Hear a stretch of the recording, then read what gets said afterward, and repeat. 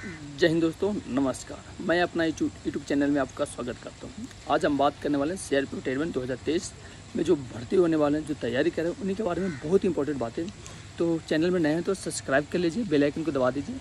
जब भी video upload करूँगा तो आपको सबसे पहले मिल जाएगी। तो आज हम, आज का टॉपिक बता देता हूँ, आज का टॉपिक क्यों इंपॉर्टेंट होने वाली है। वीडियो को अंत तक देखिएगा, क्योंकि ये बहुत बार बार क्वेश्चन आती है कि सर एस मतलब सी आर पी में जब हम अगर भर्ती हो जाते हैं तो जैसे बहुत लोग को रहते हैं ना कि मैं भर्ती होने के बाद मैं बहुत आगे तक, ऐसा नहीं कि मैं एक एक कदम भर्ती हो गया, बस अपना खाया पिया चा दिया, बस उससे मतलब नहीं है। मतलब हमें बहुत आगे तक हर हर का सपना रहता है कि मैं आगे बढ़ूँ। आपका भी सपना है मेरा भी सपना है कि मैं भी आगे बढ़ूँ। ऐसा नहीं कि मैं जीडी तक के आऊँ और मैंने भर्ती हो गया, नौकरी मिल गई तो अब बस यूँ ही, बस करता रहूँ। अभी भी पढ़ाई कर रहा हूँ और आगे बढ़ने की पूरी प्रयास करता रहता हूँ, कोशिश करता रहूँ। बट ये है कि तो इसलिए हमें ये नहीं कि सबका सपना होता है अपनी तैयारी करने की आगे बढ़ने की। तो इसी टॉपिक पे बात करेंगे क्योंकि मैं, आते क्वेश्चन आते हैं ना कि सर मैं भर्ती हो जाऊँगा ट्रेडमेंट में तो मैं पूरी लाइफ ट्रेडमेंट में या यानी सब मैं कुक में भर्ती हो जाता हूँ। तो क्या कुक में मतलब पूरी लाइफ पूरी नौकरी हमें रोटियाँ बनाना पड़ेगी? क्या खाना ही बनाना पड़ेगा? सफ़ाई कर्मचारी में होता है फिर पूरी मतलब नौकरी सफ़ाई कर्मचारी में मतलब सफ़ाई करते ही रहना पड़ेगा क्या? तो हर चीज़ का मतलब हर का रहता है यार कि हम बहुत आगे तक जाएँ।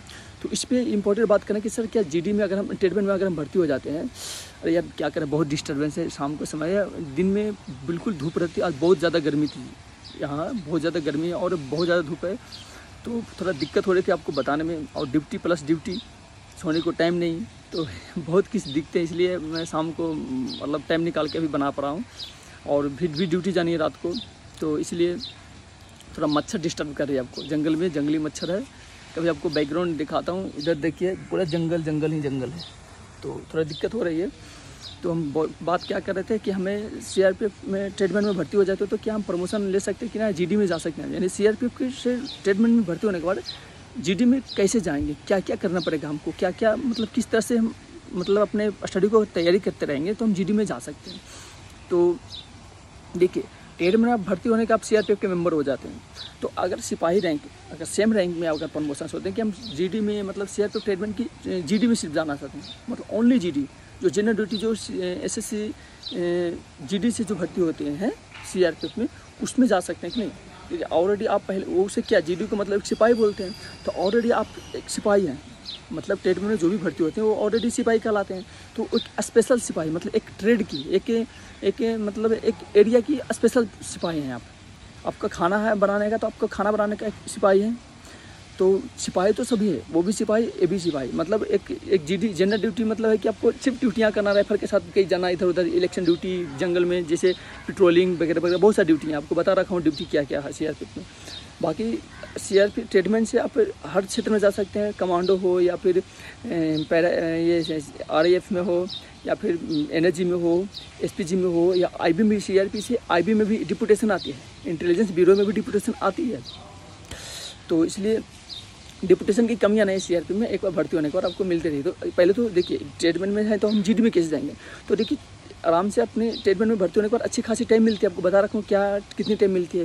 तो अपने स्टडी लगातार जारी रखते हैं। तो डिपार्टमेंटल वैकेंसी आती रहती है। तो आप डिपार्टमेंटल वैकेंसी देके जी में आ सकते हैं। मतलब प्रमोट के साथ जीडी में आ सकते हैं। मतलब अगर सिपाही में है, सिपाही ट्रेडमेंट में है तो आप हवलदार बन सकते हैं जी हवलदार बन सकते हैं। जी डी एस आई बन जी डी सब इंस्पेक्टर बन सकते हैं। G D inspector G D G D inspector बन सकते हैं। उसके बाद अगर जी डी जैसे एग्ज़ाम दिए L D C L D C E का एग्ज़ाम देकर, यानी L D C E exam होती है सी आर पी करवाती है, वो एग्ज़ाम दे के आप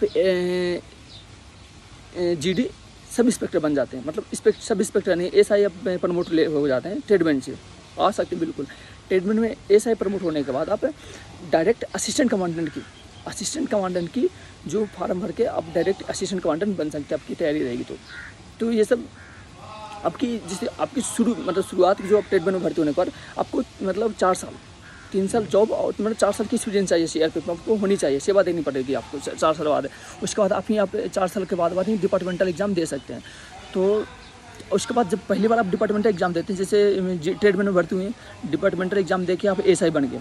तो एस बनने के बाद ना आपको एस आई बनने तुरंत आपको वैकेंसी आ गई असिस्टेंट कमांडर की। तो आप डायरेक्टली असिस्टेंट कमांडर की फार्म भर सकते हैं। इसमें कोई नहीं कि आपको एस आई में दो साल या तीन साल होनी चाहिए। ऐसा नहीं है, आपको डायरेक्ट असिस्टेंट कमांडर की फार्म भर के आप प्रमोट हो सकते हैं। ठीक है दोस्तों? तो आज की टॉपिक यही थी, क्योंकि बार बार ये मैसेज आती है कमेंट आती है कि सर हम जी में जा सकते हैं, नहीं जा सकते वर्दी के लिए वर्दी हर चीज़ में मिलती है, आपको ट्रेड में रहें चाहे कहीं में रहें आपको वर्दी ही पहनने के लिए मिलेगी। उसके बाद कुछ नहीं संडे को ओनली सिविल कपड़ा पहन सकते बाकी पूरी टाइम ना ये वर्दी ही पहननी पड़ेगी। तो आई होप आपको ये वीडियो समझ में आई होगी। अगर मेरे पे चैनल पर नहीं है तो चैनल को सब्सक्राइब कर लीजिए बेल आइकन बेल आइकन को दबा दीजिए। जब भी मैं वीडियो अपलोड करूँगा तो आपको मिल जाएगी। और मेरे व्हाट्सअप ग्रुप में नहीं जुड़े हैं तो जुड़ जाइए चैनल में जाकर। कम्युनिटी में आपको मिल जाएगी व्हाट्सअप ग्रुप की लिंक वहाँ से जुड़ जाइए।